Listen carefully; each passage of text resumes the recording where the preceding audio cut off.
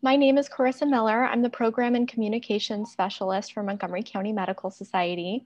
Thank you for joining us for this Q&A on the Montgomery County Primary Care and Dental Grant Program.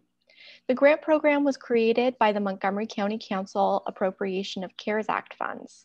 This grant program is meant to provide relief to independent primary care medical and general dentistry practices based in Montgomery County in response to lost revenue and costs related to reopening practices during the COVID-19 public health state of emergency. The program is accepting applications now through November 29th. We are fortunate today to be joined by a program staff member who can answer questions pertaining to the grant program eligibility, application requirements, and preference methodology. We are joined today by Susan Donovan, MHA, who is the Managing Director of Nexus Montgomery and the Primary Care Coalition, who are helping to administrate the program for the county. So we'll go ahead and start the Q&A now, since I know we have limited time today.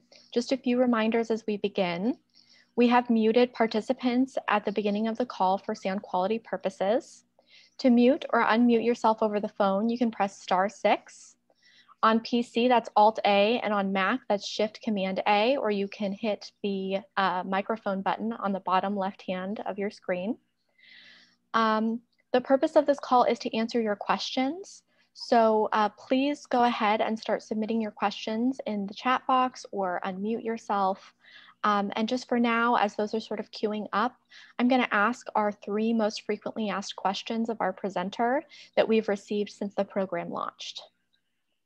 So the first one that we've gotten a lot from folks is the question, is a practice eligible to apply if it has previously received financial support through another COVID-19 assistance program, like the Paycheck Protection Program?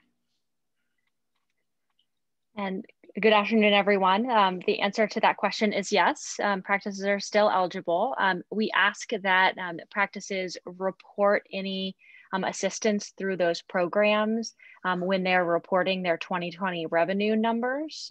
that's part of the grant application.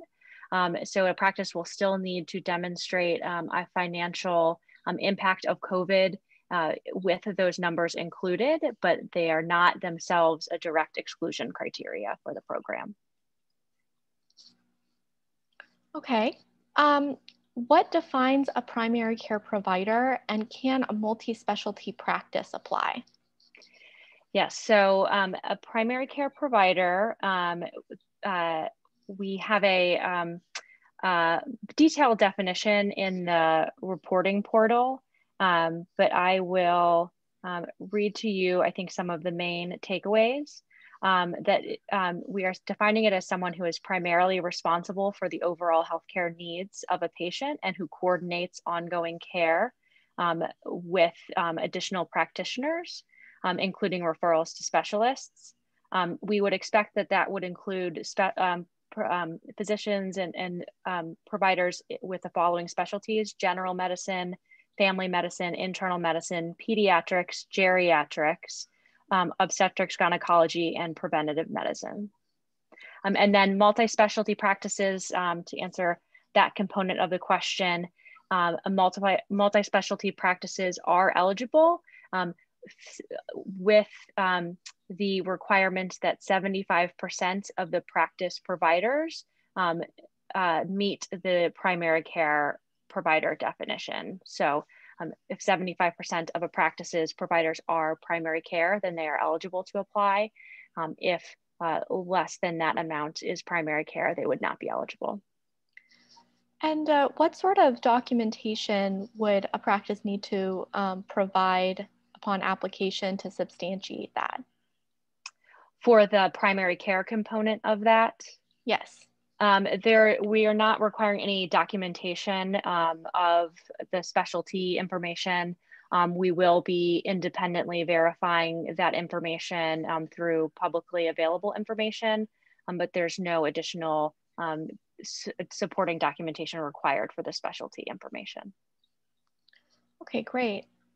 so what is the definition of an independent practice for the program's purposes? Yes, so um, an independent practice um, in, in, general will, will mean a practice that the group of providers um, either physicians or dentists or other providers um, own a majority, so greater than 50% um, of the practice and retain key operating um, and management oversight of the practice.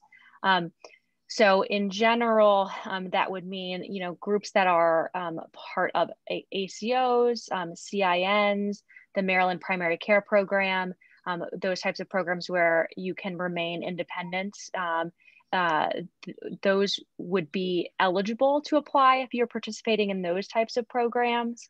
Um, if you are um, significantly partnered with um, are financially supported by large commercial organizations um, or large anchor institutions, um, or um, participate with a management service organization, those practices would not be considered independent for the purposes of this award. Okay, great. Um, and then the, the fourth most frequently asked question we have is, um, what if a practice has practice locations both inside and outside of Montgomery County? Can they still apply? They can apply, yes. Um, we, the intention is to provide support for their Montgomery County practices only. Um, and in the financial section where you will submit um, numbers and, and support, backup support um, um, for that financial information, you'll have two options if you have locations inside and outside of Montgomery County. The first option, the preferred option, is that um, if you have that documentation available for Montgomery County based practices only, that eh, we would ask that you upload it for those, lo those locations only. If that's not available, um, depending on what um, type of financial reporting and um, of, data that's available, uh, if you only are able to report for all of your practices, um, including practices outside of Montgomery County, um, we ask for um, physician provider uh, full-time equivalent information for Montgomery County based offices relative to all office locations.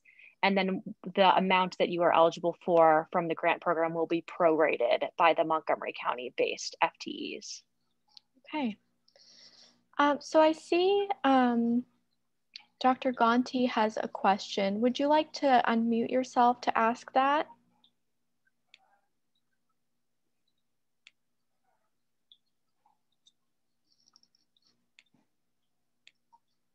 Okay, we can come back around.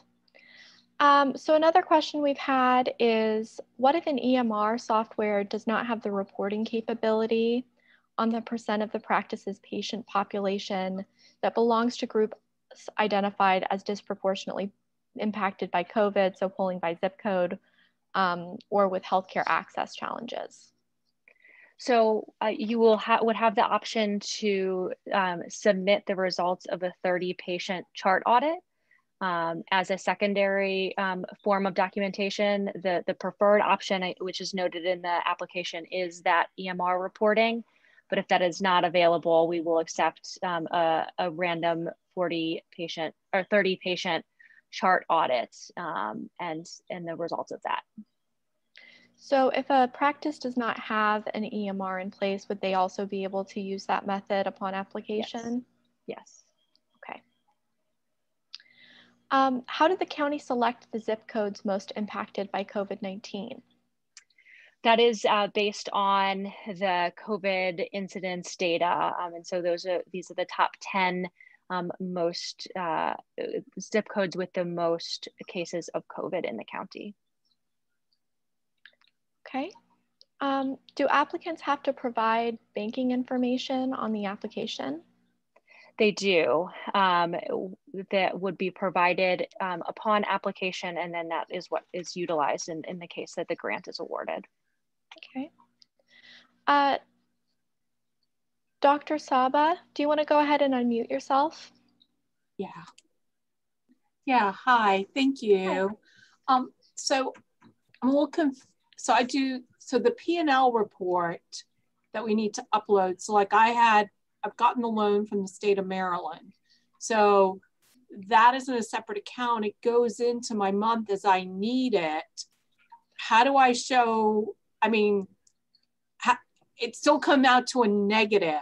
I'm like, how do I, it's part of my revenue, but it ends up being a negative with my expenses. Do you understand what I'm trying to say? Like, yes. So and it's not not reflected in your current reporting. Is that right? What so I mean, the issue yeah. Is? I mean, I don't put it in as a revenue because it's a loan. I'm taking from it. I'm paying my expenses. You know, the profit, the revenue is what I'm receiving for the patients I've been seeing. So say I get, you know, 5,000, but then I had to pull from the Maryland loan program another 10,000 to pay expenses. So now I've got a negative, you know, margin. Um, so it, it's really not revenue, it's a loan. So I, I'm a little confused as to how I'm supposed to show that. So, and if, if it is in so I, I, I am not sure about the specifics of that program um, itself. Um, so I mean, would, I use I, QuickBooks. It's a P&L. Yeah. Yeah. So yeah, I, it's really I, not revenue. It's a loan. I'm going to have to end up paying that back in the other years based on revenue that's coming in. So, I mean, and the other part of the application, I, I put down that I got Maryland loan. I put down that I got the SBA loan, um, you know, which I'm trying not to utilize have as much to pay back. Um, yeah, I will. I would say that um, the the requirement of including the previously received assistance um, as revenue. Um, the the I think the intention is to capture um, those things that are pure revenue and that are not, you know, loans that are to be paid back. Um, okay. But can you can you also send that question to the grant inbox? Um, I will. And and we can confirm that for you. Yeah, because it's really confusing. Even as you start, you said whatever you've got needs to be included as your revenue, but sure, but not, yeah, it's not patient. Yeah, I think not the, revenue in that sense, right? Sure. Yeah. Um, the, the the the clear cases would obviously be assistance programs where you're getting other grants or thing things of that nature. Um, right. But we will, um, if you can send that into the inbox, we'll we'll confirm the the um, need for those types of loan programs. I will. I will. And I'm sorry, I have a couple more. Can I keep going, or is there someone else that needs to ask a question? You can keep going. Okay. Um, when it says um, the volume of patients in your practice, is there a time frame you want that from, or just your volume? Period. I mean, I've been in practice for a while people come and go like what so the and are you referring to the the summary for that or is there a specific application portal question i don't have it right in front of me right now i thought i'd screenshot it before i came to the office but no, I didn't. Okay. It was one of the questions. It just said volume of patient, and then it said it also asked like the fifty percent mark. Like, how do I determine that fifty percent mark? Because like in peds right now, I mean, it varies by month. It's a little bit of a different thing. Like, you know, my sure. the number of patients I'm going to be seeing the next couple months are going to go down because the kids aren't in school and they're not going to be sick and they're really not getting their physical. So it's going to be less. It's just not showing yet. So didn't know is there a place to then answer that? I mean, I'm a little frustrated with the application, to be perfectly honest, because you can't move forward till you filled other stuff out. And I'm like trying to gather everything all together. I work a little different, mm. get all my stuff together and put it in. So that's a little, that's been a little bit difficult. And thank you for everything you're doing, but that's been a little tough. well, we will take that, take that feedback um, for the, the portal developers. Um, I would I would say, and I, I know um, this may not be directly your question, but I, I want to just address it because we've gotten it um, from a couple of people um, there's a there's a section where we're, we ask for kept patient visits. Um, so yeah. I'm not sure if that's a piece of the question, and and by that we we mean um, you know visits where people have showed and um, have have arrived for as opposed to scheduled visits. Um, okay. and so the the question about returning to 50% capacity, um, we would expect would also be based on kept visits. and I think we we would um, if you got back to that point, I think at any point is when we are interested in that, recognizing that it may fluctuate. Um, and you can feel free to um, include um, any additional information in some of the narrative sections if it is okay. Um, fluctuating significantly. Great, great, thanks. Thank you. Yep. That's it. Thanks for your That's questions. Thank you so much. Hi, uh, this is Ilona, and I'm, I'm asking a question on behalf of Dr. Ganti. Um, I know, Susan, that you did say so briefly about capped patients. So that was my question. Can you elaborate on what capped patients mean? So just, I, uh, so the intention would be that a visit that um, uh, an individual showed up um, and actually had the visit. So does that include um, telemedicine, telecon, uh, telephone? Yes, it would would include telemedicine. Okay, and um, exclude the canceled and no shows. Correct. Okay, all right. So that any any patient who received the services in any via, via any media like so, correct? Yes, I mean yes. Yes, Okay. any cap, any any patient receives services via uh, an appointment and, or a visit. Yes, Okay, whether it was telehealth or in person. Sure, sure. And telephone consults also, right, you said? Yes, yeah. Okay, thank you. Uh, to follow up on that, would kept patients also include um, patients who came through for specifically for a flu vaccine during that period and for nothing else? That is a good question. Um, I may have to take that back to the team and um, and confirm that. I would say um, that that may vary depending on um, how you all are tracking those appointments. Um, so my my suggestion at this time would be if if that if you are doing those as nursing visits or um, that type of setup, then you should go ahead and include those. Um, and I will I'll confirm with the team if there's additional information that that we would want to provide there. All right, thank you. Um, Dr. Saba, would you like Yeah, to? so thanks. So the question where it asks your percentage of African American or Latino, what time frame are we looking at to give that percentage? Because that also fluctuates. Sure. Um, I would I would recommend a year, um, but we didn't want to be too prescriptive in case folks had um, differing time ranges that were available in their systems.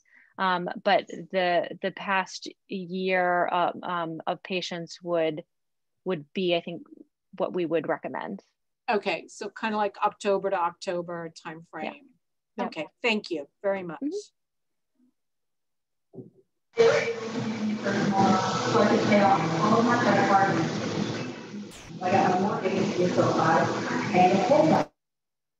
All right, sorry, Dr. Hamani, I had to um, mute you. Feel free to ask questions in the chat box or unmute yourself. Um, so the next question we have is, what is the maximum grant amount a practice is eligible for? So um, the maximum that any one practice will be eligible to receive is sixty thousand dollars, um, and so that and that is an up to amount based on um, the financial data that will be reported. So other types of aid that a practice has received will um, will change the total amount they're eligible for. Correct. Yes. Um, when will practices find out if they're getting a grant? So the the latest that um, practices will find out and be notified is um, December thirtieth. Um, and- but we would expect to begin um, providing notices um, sometime in, in mid-December through the end of the year. Okay, and will there be additional documentation that will be required of practices at that time? There, we, we do not anticipate that at this time. Um, while we are going through the application review, process, um, we may reach out to folks if we have questions or um, what they've submitted. Uh, we may request additional documentation, um, but that would only be on an as needed basis. And then once the award is made, um, there are some attestations that um, practices um, are required to sign off on in, in part of the process of submitting the application. Um, but there, we would not at, at this time are not anticipating any further um, follow-up uh, documentation uh, after the award is made either. Okay. Uh, will attestations be available for e-sign? Uh, the the submitting of the application and the signing of the application submittal it, it serves as the the signature on those attestations. Okay. Um, what date does the program define as the beginning of the pandemic? So uh, I believe that is March 13th, um, but let me confirm. Um, yes, Friday, March 13th is the, the start date. Okay. Um, and who can applicants uh, contact if they have additional questions?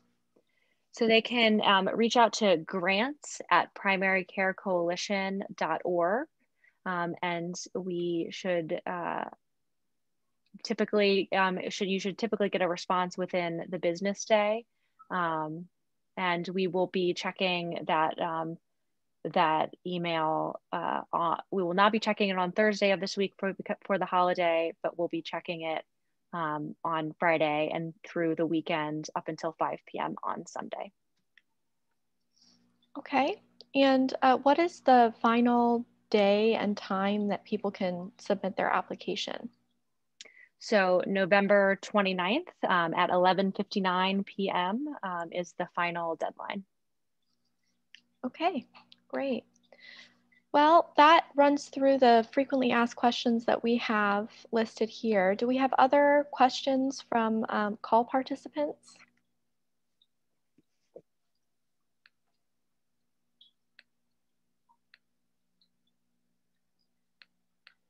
Hi, this is Susan D'Antoni. I have a question for you. Um, so I'm curious, um, once you have vetted the application and you have determined that this application has met all the requirements and is approved, um, will you then base awards on when you receive the application? Or what other criteria might you use to determine the awards? Because you so, only have an established amount of money. Correct. So the prioritization will be based on the patient population that's served. Um, so the the for those that have started the application, um, I think I believe it's section four, um, where you provide information about the percent of patients that live in the 10 zip codes, the percent of patients that are African American Hispanic. There's a number of other criteria um, that um, uh, I try to identify patient populations disproportionately impacted by COVID.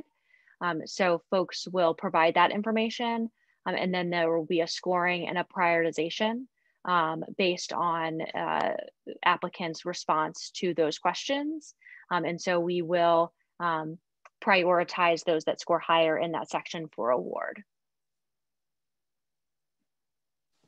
Thank you, I appreciate that. And, and you address this to a, a particular uh, extent, but you know, there are lots of specialists, uh, if you will, that do a tremendous amount of primary care in their practices, uh, whether that's cardiologists, rheumatology, others. Um, so, could you just um, respond to maybe some of those that might be on our call this evening about um, how those will be ranked in terms of maybe the percentage or the location of those patients that they're providing primary care to? So um, the currently the definition of primary care would exclude those practices that are um, those types that you describe, a cardiology, rheumatology. Um, so those those groups would not be eligible for this program.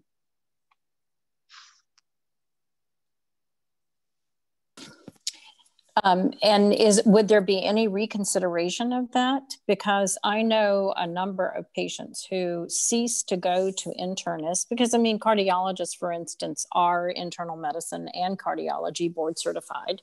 So they cease to go to internal medicine or family practice and only go to say a cardiologist or re- depending upon the level of their you know their medical issues um, you know so we, we know that it's a fact that a lot of primary care is being provided in the county by those physicians. So, um, so the determination's already been made, and so there's no value in their submitting an application. correct. I, I, would say that if if you know uh, um, kind of out of my uh, particular hands um, on that determination, but if um, folks are concerned about that or if they have any questions, um, again, I would direct them to the email inbox and we can um, send that along um, for anyone that might want to share their thoughts in that space. I have a question, Dr. Scherer. Uh, so I would be in that category that Susan just described, uh, possibly. I do internal medicine, also hematology, oncology, but I do much more general internal medicine these days. So would I be excluded because I also am listed as a, hemonc? Or do you need a percentage of the patients I see in each category? do you mind um, sending kind of a, a, a short that short description to the grant inbox and I can pass that along to the team to consider? Okay. Also, I guess you want a percent. I haven't even looked at the application yet, but you need a percentage of African American Latino patients and a percentage of patients in certain zip codes. I don't know if I can retrieve that from our our records. Yeah, yep. So tedious to do, I think. Yeah. Uh, um. So, and the we, retrieving it from the, even the chart audit version. So the the two the two options for those um, to to reiterate would would be the the reporting from the EMR, which is the preferred option. Um, but we do uh, offer the backup option of, of a 30 patient random patient chart audit to provide that information. Um, and there, there also is a, a, do not know option if that's really not even anything that's documented in any kind of way in the EMR. Um, you can still submit um, uh, for some of the other um, categories, um, even if you don't have all of them. Uh, so I have an, an, anonymously submitted question. This practice hasn't started their application yet. They're trying to get all of their documentation together. Um, they're wondering if you're willing to sort of describe the different sections of the application and go back over, you know, the different pieces of documentation that they'll need to have on hand as they go through that process. Sure. Um, without having it in front of me, I will do my best. Um, so the first section is a, an eligibility screen. So it will go through the very basics of primary care, independent, located in Montgomery County, um, good standing with the state of Maryland um, for those practices that aren't sole proprietorships. Um, and then um, practice providers, good standing with the, the state licensing boards. Um, after that um, eligibility determination, there's a financial section that um, asks for financial P&Ls for 2019 and then 2020 through the end of, of Q3 um, and that is uh, revenue, expenses, kept patient visits for those time periods, and then um, backup documentation support of that information. Um, so for 2019, um, we're accepting your um, whatever your federal um, IRS tax profit and loss forms are. and then for 2020, would accept any of your, you know, practice operating um, practice financial management system um, reporting for that documentation. Um, then continuing the financial section, there are some other questions about um, any significant um, non-COVID financial impact, um, how your practice has responded to COVID, any unreimbursed COVID related expenses, and so some, some other questions along those lines.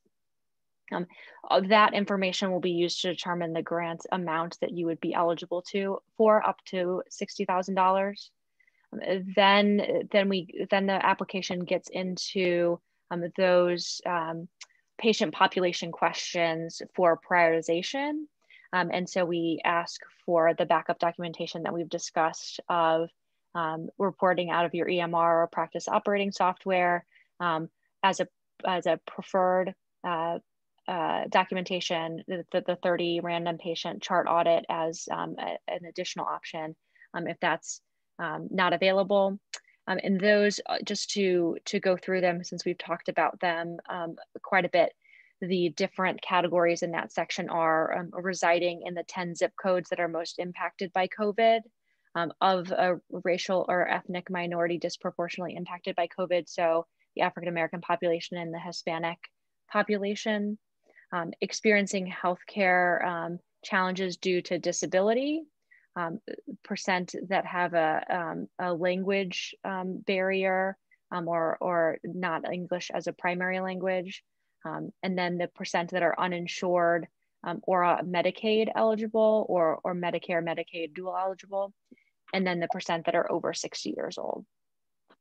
Um, and then after that, um, there's just, again, some brief um, banking information and then attestations, um, and that's the application. All right, wonderful. Um, so I see that we're coming to the end of our Q&A portion here. Um, so I'll go ahead and close the session to, to be respectful of everyone's time. Uh, as we mentioned earlier, if you have follow-up questions or additional questions, um, send them to grants at primarycarecoalition.org.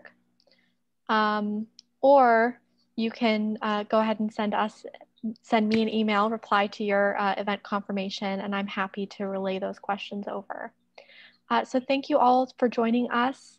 We will make this session available online via our YouTube channel. Don't forget to subscribe to our channel for other educational content, including webinars on topics like telemedicine, remote patient monitoring, um, and 2021 E&M codes.